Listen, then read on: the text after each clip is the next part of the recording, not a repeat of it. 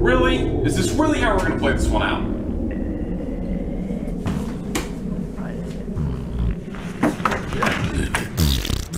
For real? Okay, I'm sorry. So her voice changed in the second one, became Irish in the third, and is now back to the original in the fourth one. This makes about as much sense as the Five Nights at Freddy's storyline. You know people are gonna be mad this isn't the same haha funny joke and then fuzz and then haha funny joke and then fuzz and so on.